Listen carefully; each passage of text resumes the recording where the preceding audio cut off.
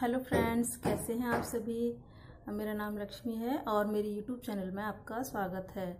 तो जो लोग मेरे चैनल पे नए हैं तो प्लीज़ प्लीज़ मेरे चैनल को सब्सक्राइब करें लाइक करें और शेयर ज़रूर करें। तो आज मैं आपको सिंपल लंच रूटीन अपना दिखाऊँगी और सुबह में हमने नाश्ता कर लिया है और सुबह का नाश्ता मेरा काफ़ी हैवी हो गया है आज, क्योंकि मैंने सुबह में आलू के पराठे बनाए थे तो आलू के पराठे काफ़ी बच्चों को पसंद होते हैं तो पेट भर के वो खा लेते हैं। तो अब सिंपल सा मैं लंच बनाऊँगी और लंच में केवल मैं नमकीन, चावल यानी कि पुलाव बनाने जा रही हूँ और वही मैं आपके साथ शेयर करना चाहती हूँ।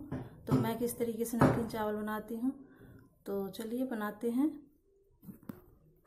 तो गाइज़ मैंने यहाँ पर चावल बनाने के लिए सारा सामान तैयार कर लिया है।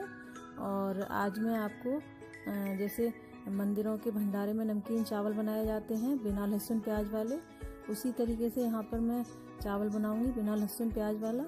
और यहाँ पे मैंने कुछ खड़े मसाले लिए हैं, आलू लिया है, टमाटर लिया है, और कुछ हरी मिर्च हैं और कड़ी पत्ते लिए हैं। तो काफ़ी टेस्टी लगते हैं ये। कहते हैं कि बिना लहसुन प्याज का अच्छा नहीं लगता। बट मुझे तो हमारे घर में तो काफ़ी पसंद करते हैं ऐसे चावल। और ज़रूरी नहीं है कि लहसुन प्याज के ही चावल बना के खाएँ। आपने देखा होगा, मंदिरों में अक्सर सब्ज़ी वगैरह बनाई जाती है, या फिर नमकीन चावल बनाए जाते हैं।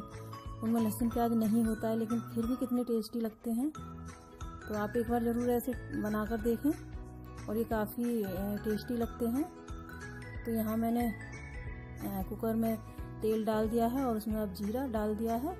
जीरा चटकने के बाद मैंने इसमें थोड़े से कड़ी पत्ते डाल दिए हैं और ये है तेज पत्ते। और अब इनको थोड़ा सा मैं ऐसे भून के और अब इसमें मैं खड़े जो गरम मसाले हैं उनको ऐड कर दूँगी। तो काफ़ी टेस्टी लगते हैं और मुझे तो मंदिर वाले चावल, मंदिर वाली सब्ज़ी काफ़ी पसंद है। तो मैं कभी कभी मेरा मन होता है तो मैं इसी तरीके से बना लेती हूँ। और यहाँ पर ये खड़े मसाले भी मैंने डाल दिए हैं, जिसमें लौंग है, काली मिर्च है और अब मैं इसमें मसाले ऐड करूँगी। यहाँ देखिए, ये अच्छे से भुन गए हैं और इनको भूनने के बाद यहाँ मैंने हल्दी पाउडर एक चम्मच और अब इसमें एक चम्मच मैं मिर्ची पाउडर डालूँगी।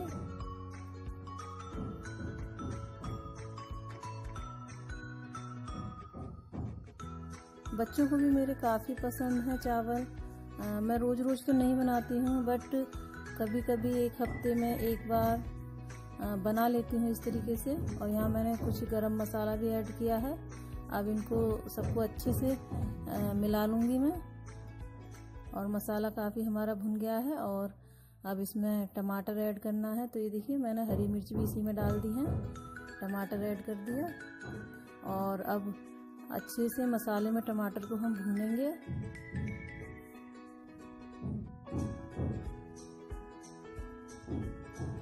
मसाले में अच्छे से ये भुन जाने चाहिए, गल जाने चाहिए टमाटर, इतना भूनना है हमें। और गैस का फ्लेम लो रखना है, जिससे कि हमारे टमाटर अच्छे से गल जाए।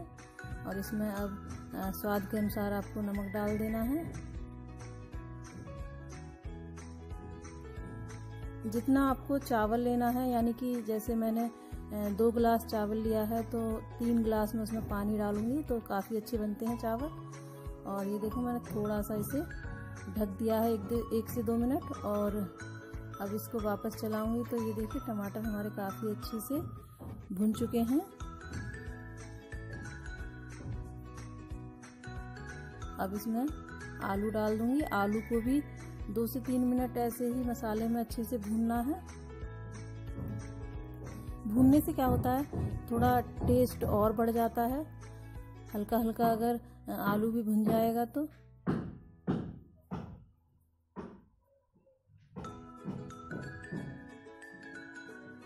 एक दो मिनट ऐसे ही आप इस तरीके से चलाते रहिए और बस फिर उसमें आप चावल डाल दीजिए। ये हमारे अच्छे से भून चुके हैं। अब मैं इसमें चावल ऐड कर दूँगी।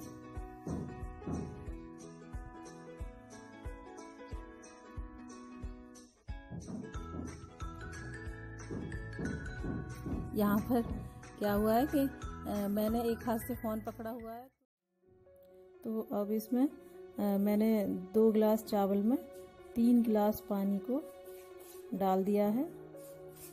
क्योंकि एक गिलास में हम एक गिलास जब चावल लेते हैं या एक कटोरी हमें चावल लेना होता है तो उसमें डेढ़ गिलास हमें पानी डालना होता है। उसी तरीके से मैंने यहाँ पर दो गिलास चावल लिए थे। तो मैंने यहाँ पर तीन गिलास पानी डालकर इसको बंद कर कुकर का ढक्कन लगाने के बाद लगाने के बाद हमें गैस ऑफ़ कर देनी है। और गैस ऑफ़ करने, कर देने के बाद हमें सीटी को अपने आप ही निकल जाने देना।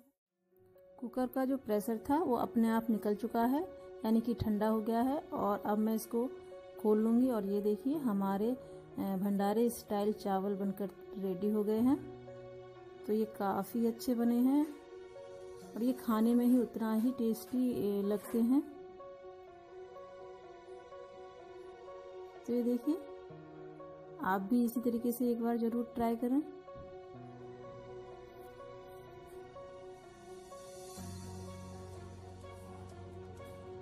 और यहाँ हमारे भंडारे वाले चावल बनकर रेडी हो गए हैं तो आ जाइए और आप भी खा लीजिए।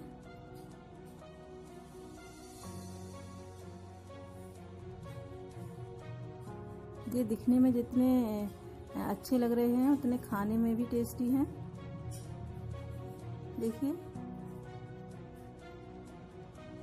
तो अब मैं बच्चों को भी सर्व कर देती हूँ। आप भी खा लीजिए।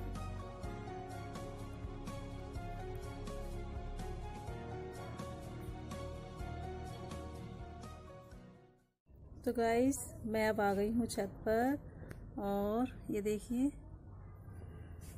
तो मैंने सोचा थोड़ी देर में छत पे बैठ जाती हूँ, और काफ़ी अच्छा मौसम हो गया है अब। बच्चों को मैं चावल बना के नीचे देकर आई हूँ, वो खा रहे हैं। शिवम को भी चावल काफ़ी पसंद है, नमकीन चावल। और वो वैसे तो खाना मैं उसे अपने हाथों से ही खिलाती हूँ, बट क्या है ना, उसे चावल अपने हाथ से ज़्यादा अच्छे लगते हैं खाने तो वो आधे खाता है, आधे फैलाता है तो इसीलिए वो नीचे आराम से बैठ के खा रहा है। और बस, अब मैं चलती हूँ नीचे। और यहाँ देखिए, ये खा पी के बच्चे, हमारे तो एक पढ़ने बैठ गया और दूसरा सो गया। इसको सुला दिया है मैंने। और ये देखिए, सो गया है ये। और श्रेया पढ़ रही है। तो आप लोगों को कैसी लगी मेरी वीडियो? लाइक ज़रूर